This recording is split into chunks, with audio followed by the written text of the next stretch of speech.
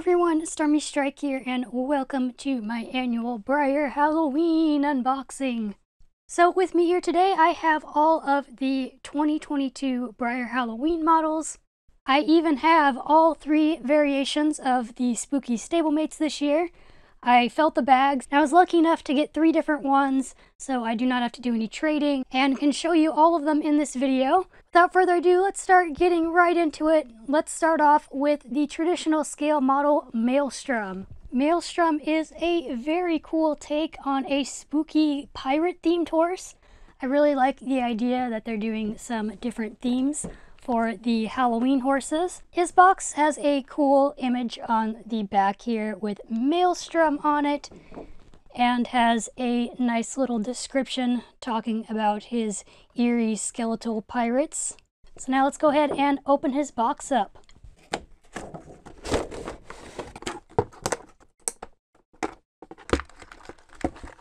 Here he is, and oh my goodness, he is so gorgeous. His color is so cool. I feel like once Breyer realized that people like these really cool, kind of interfacey, color changing, iridescent colors and such, they've uh, decided to just put them on a bunch of models, and I am absolutely here for it.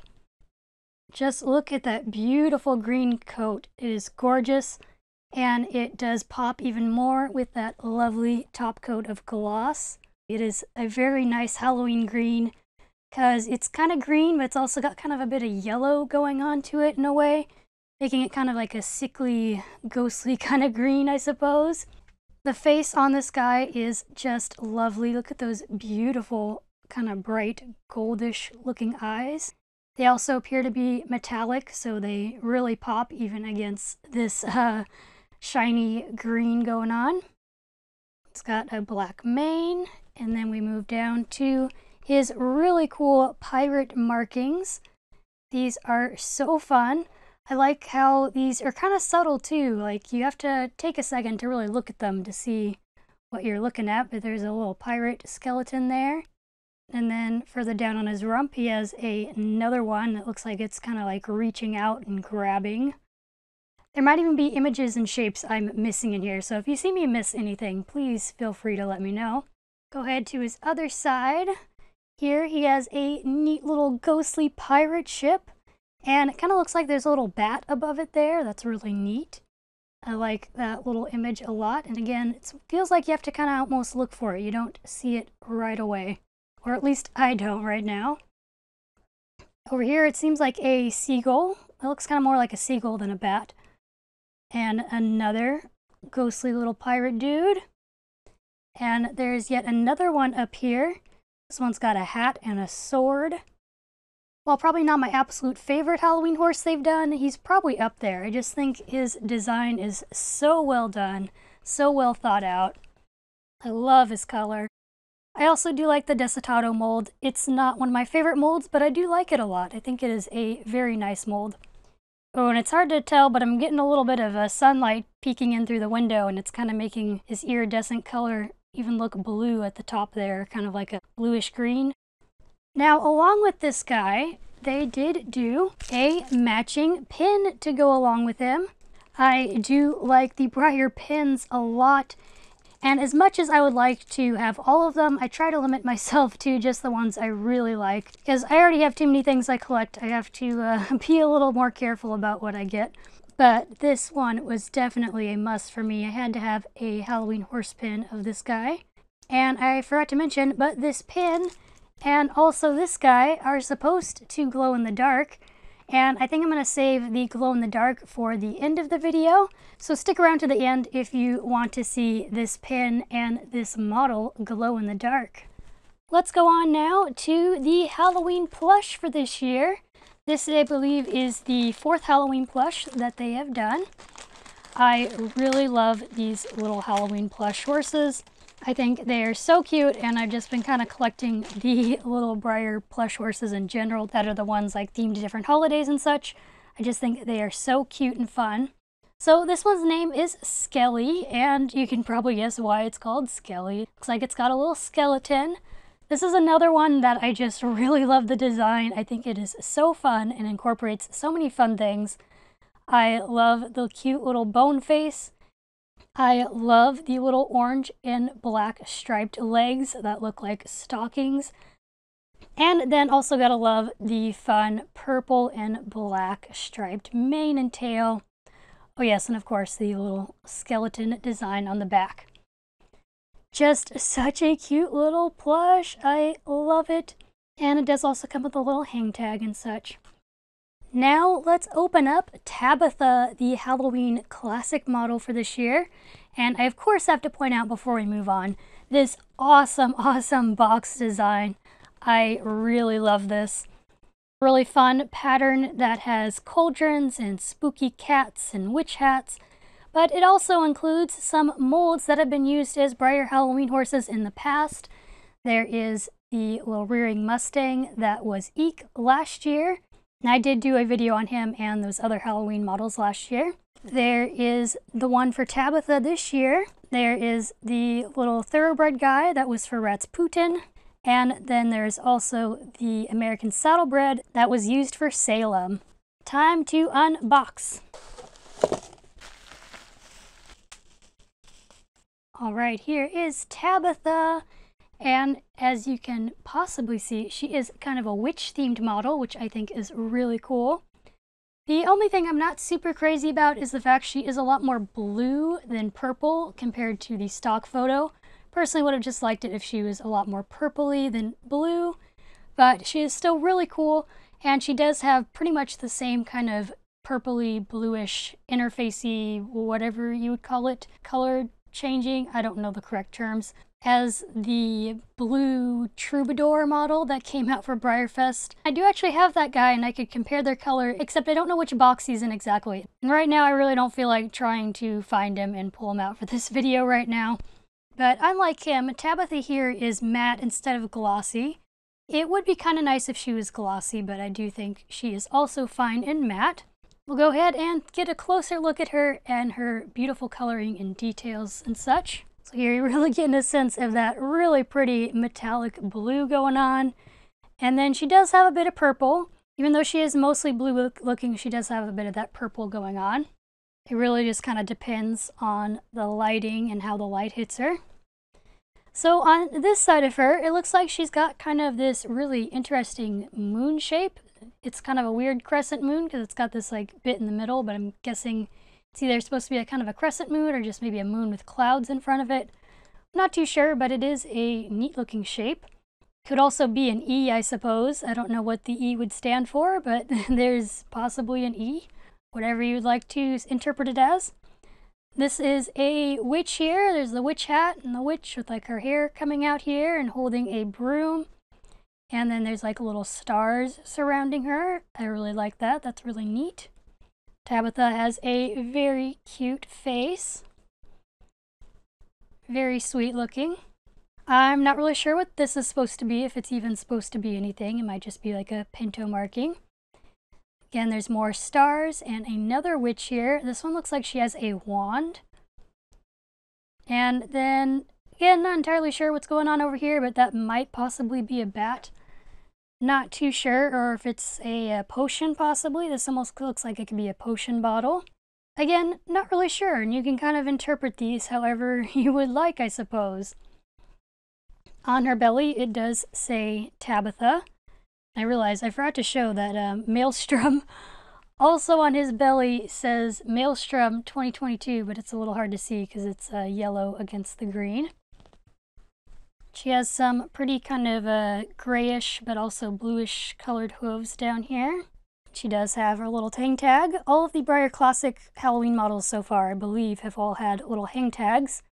And yeah, there's pretty much a Tabitha there. She is really pretty. I know a lot of people don't like her mold, and her mold isn't my favorite either. But honestly, if a model has a really good coloring like this and really cool design, I don't even care too much what mold it is. I just like the design overall, then I'm going to really like it. And same with this girl. Even though I don't normally collect this mold, I think she looks absolutely fantastic. I really like her and really wouldn't change anything about her other than, like I said, I'd like her to be more purple just because I love purple. It's my favorite color. But gorgeous overall. Another just absolute winner for this year's Halloween models. Last but not least, let's open up the spooky surprise stablemates. I love these Halloween stablemates. They are so cool and I feel like so well done every year. Let's see who this one feels like. This feels like the little draft, which matches the Casper Ghost design full. And yep, that is him. This guy is so cute. And I do love that these stablemates are like little copies of previously done Breyer Halloween models. I think that is just so fun.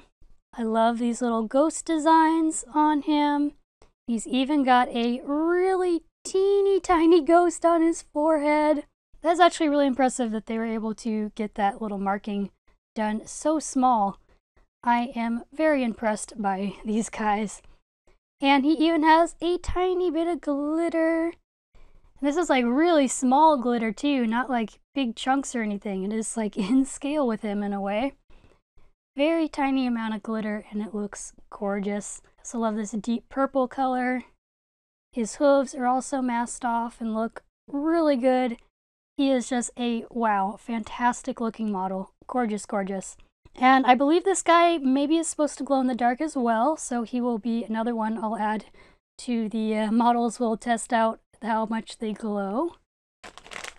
Next here is the little guy that's supposed to be a miniature of Mischief Night. Mischief Night was actually the first Halloween classic model. And here he is on the little, I don't know how to pronounce this one's name. I always mess it up. This one is so pretty too. Oh my goodness. I don't know if the tail is normally like this, but I feel like this one has like a little chip in his tail possibly. Not entirely sure, like a mold chip and then it was painted over. I don't know. It's not a huge deal though. I just happened to notice that. Oh, look how pretty he is though. He's got a very pretty kind of shiny, pearly white going on. And then we have these awesome black markings with these cats. Love the little striping on the legs. Hooves are also pearly. Little moon on his neck. And again, teeny tiny marking, a little tiny moon on his forehead. And then another moon and more cats on the other side here. These guys look so good and again, just pretty amazing. These are all like masked off markings and they really look good. There is a tiny bit of overspray on the cat's tail there, which is understandable. That's like a really kind of tricky crevice there to uh, not get overspray on. But otherwise, oh my gosh, they look so good. Breyer does such a good job on these guys. I know they are a little more on the pricey side. They are normally $25 each but I think it's worth it to me anyway for how much I love the Halloween models because they really do look good and are very well detailed. So the last one here is a mini version of Samhain and is another draft horse here on the uh, Belgian draft stablemate mold. This one I think is maybe also supposed to glow, or at least the original model is, the uh, traditional scale one. So again, I'll test out all these guys and see if they glow or not. This one has some cool little gold hooves and the really neat pumpkin patch scene going on here. Got little pumpkins, scarecrow, ghosts, and corn stalks. There's a ghost on the haunches there, even a moon. There's just like so much going on on this model, just like the traditional one. Again, really teeny tiny little bat marking on the forehead, or actually maybe that's more of a ghost. I guess it's supposed to be more of a ghost look. And on the other side, another moon, more ghosts and corn stalks, a fence, and pumpkins. This one is like extra intricate too because it's actually got the uh, two different layers of colors being masked off. So that is really impressive in my opinion. Again, that they're able to do this on these teeny tiny little stablemates and they look amazing. Like there's like no overspray on this model that I can tell. It's incredibly well done. I know a lot of people are complaining about the uh, flaws on Breyers recently, but I've gotten really lucky and feel like all of the models I've gotten as of late have been next to flawless. They're really great and I am so happy with them. There are all three of the little stablemates together. I love all three of them. They are so fantastic and I'm so excited to add them to my collection. Now it's time to see these models glow in the dark. Here are the spooky surprise stablemates glowing. It's hard to see on the Samhain one, but it is glowing a little bit. The Drafter one glows the most, and the Mischief Night one does glow a little bit. It's a little harder to see, but it does in fact glow. The classic model Tabitha here glows pretty well and looks really cool.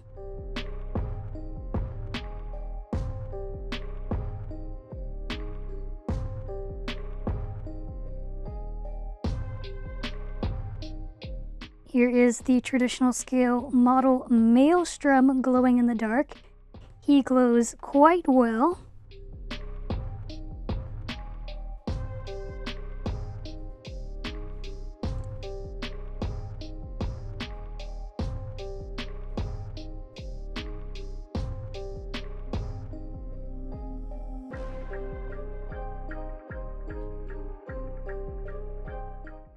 Technically all of the Halloween items here, except for the plush, all glow in the dark, although some glow a little better than others. There are all the Breyer 2022 Halloween horses, and yes, I know Maelstrom is standing on his hose right now. That's because it's harder to frame it when he's rearing. I'm sorry, I don't normally display my rearing horses like that, don't worry. I really am just super happy and impressed with the Halloween models this year. There have been years where like one or two of the models in the lineup I'm not like super crazy about. But this year in particular, I just absolutely love every single one of these models. I love their designs, I love their colors, I just love everything about these guys. This was a really, really great year for Breyer Halloween horses. And as always, I'm excited to see what they end up coming up with next year too. If you want to check out my previous Breyer Halloween horse videos, I will have a link to those in the description down below and at the end of this video. Do you have a model from this year's Halloween lineup that is your favorite? Let me know down in the comments below. For myself, I, I don't think I can even pick. I love them all so much. Subscribe for future model horse unboxings and other model horse content. Thank you for watching, have an awesome day, and I will see you in the next video. Bye everyone!